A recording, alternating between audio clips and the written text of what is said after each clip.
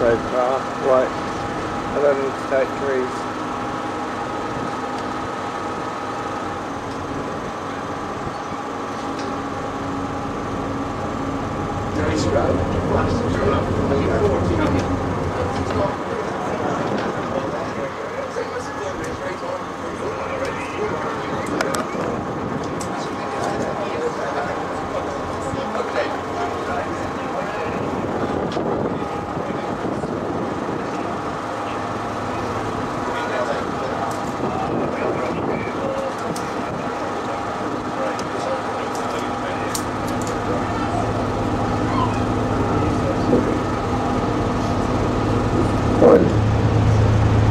Fine. My is James, and the other uh, gentleman on stage, first mate, engineer, and a very nice bloke, his name is Joe. Now, just a quick word on safety. By law, I've got to mention this, will be fairly brief. First of all, uh, life jackets are located either side of myself and the helmet. These covers clearly marked. Come in the water, please, look before you do. There's a pretty good chance the crew might be there before you guys, and appreciate it if you don't jump on us. now, uh, emergency exits are obvious, that one's mine and Joe's. Obviously, I'm using a nil when I'm squeezing out the window, otherwise up those stairs, off the rear deck traditional fashion. Smoking on the rear deck only. If you see anybody in the water throughout the cruise that doesn't have a boat or a life jacket on, tell us about it. They shouldn't be there. We'll throw them a life ring and get them out. If you have to get a life jacket from where those 10 coffee cups are, just sweep them straight on the floor. Don't worry about breaking those. Because the owners of this particular company, or this particular vessel, at least I should say, are Greek, and I'm sure they've seen their fair share of broken cups and saucers by about now, so don't worry about busting them. As I is complimentary tea and coffee, that's on a self-service basis, and there are restrooms on the other side of the vessel, they are also on a self-service basis, strangely enough. And on the way downstream, we have three terribly low bridges. Now, it's not going to affect the passage of the vessel because the tide is out at the moment. It's good to right peel through you guys. There's sort of seal coming up here on our way back, so um, you might still be hanging around here. There's underneath this bridge playing around doing a bit of fishing. Quite lucky this morning on the way back. Actually, not went over. But uh, back to the bridges, as we approach them, what I'm going to do is I'm going to sound the horn. Now, if you're on the back deck and you hear the horn, it doesn't mean stand up and have a good look around, and there's something going on up here. First get your head down, there's a bloody great bridge coming. Now, uh, we haven't actually busted up so many boats, but I can tell you what, we've had some pretty massive headaches. So it is a matter of looking forward and then being prepared to duck. In fact, my advice to you if you're on the back deck and you hear the horn, I duck first. Then look and see how low the bridge is. That way you'll avoid face planting it. Our heritage list, we get in awful trouble if we damage them, so I appreciate it to keep your heads away. And there'll also be a bit of a commentary. That's if anyone actually wants any commentary. Does anyone actually want any commentary?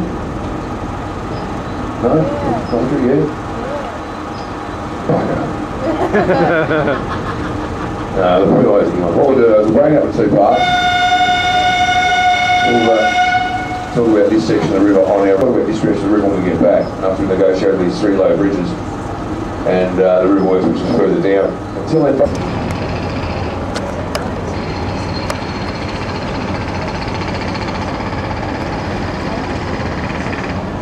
probably like this area, all the boats.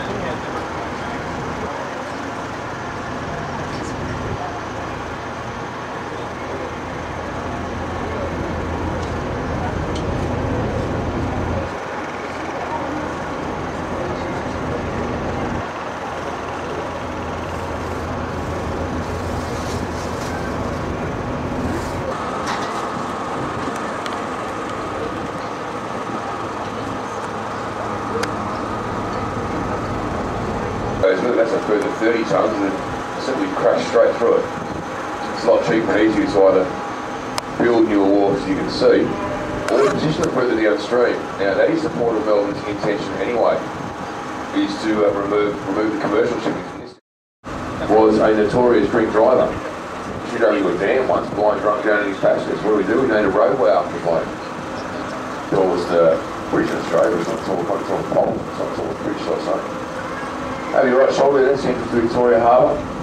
Home of what's formerly known as Telstra Now he has taken, not a very popular name change, I can assure you. Radar going up here, it's going to slow us down a bit. But uh, very recently, Victoria Harbour used to be called Victoria Dock.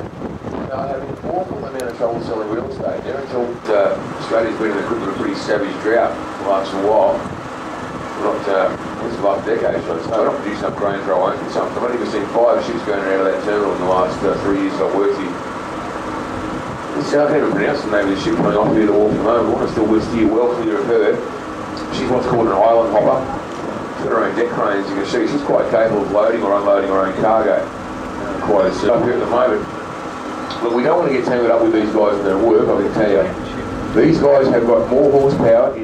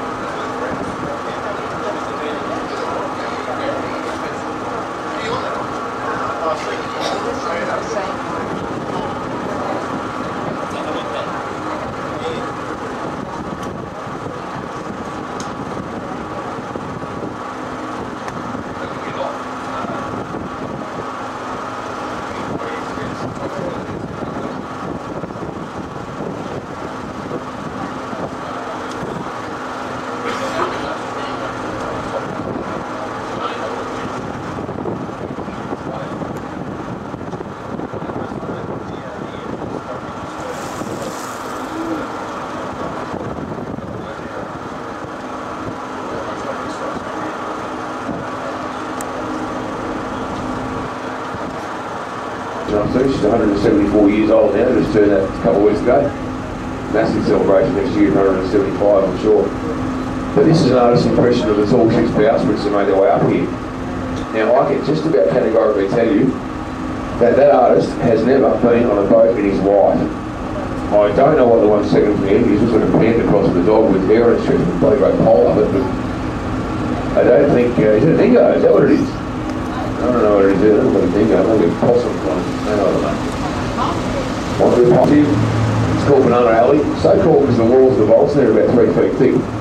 Now that place maintains a pretty constant temperature year round of about, uh, well, about 22 degrees. It's quite uncomfortable without air conditioning, I can tell you. Our main office is smack bang in the middle. It was an ideal place originally for the early settlers to bring their fresh produce so that it could naturally ripen before they sent it off to the markets.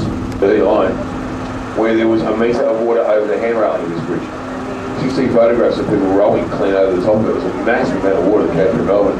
Picture a photo of a guy tied up in the northern light post waving the camera from a three metre dinghy. As I said, you can see photos of people rowing over this in the state library, just massive. Picture photos of people rowing down Swanston Street, my particular favourite. There's a photo of a couple of guys who are rowing on the front steps of Flinders Street Station. Not buggy for another train they thought they were going to get.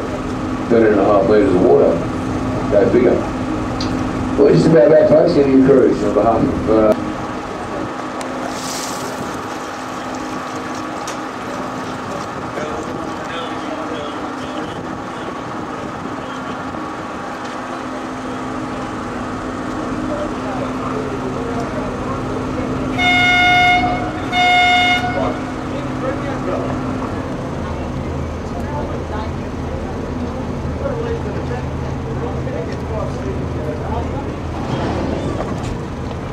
the captain going down with the ship. That doesn't happen anymore, guys, I can tell you. So look before you jump. There's a very good chance we might be there before you, so please don't jump on us. Now, emergency exits are obvious, one here, rear of the vessel. And there's tea and coffee. That's for the adults only, sorry students, and then we'll let off to you guys. Last one is 40 captain, keep trying to remember photo anyway. And uh, at tea and coffee is on a self-service basis. There are restrooms on the other side of the vessel, they are for everybody, but they're also on a self-service basis. Enough. And uh, will be a bit of a commentary. That's what we actually want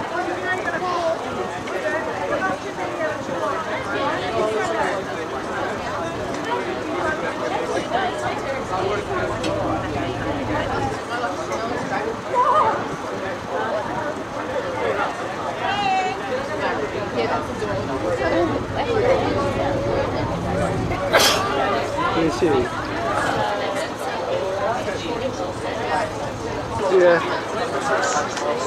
Here with.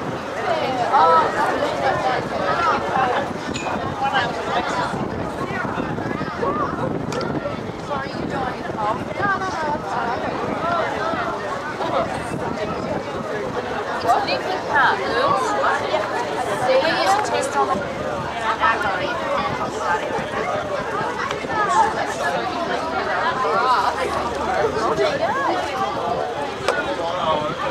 Take a photo of the girls. I put it on photo mode. so it just sat there going, there's no memories there.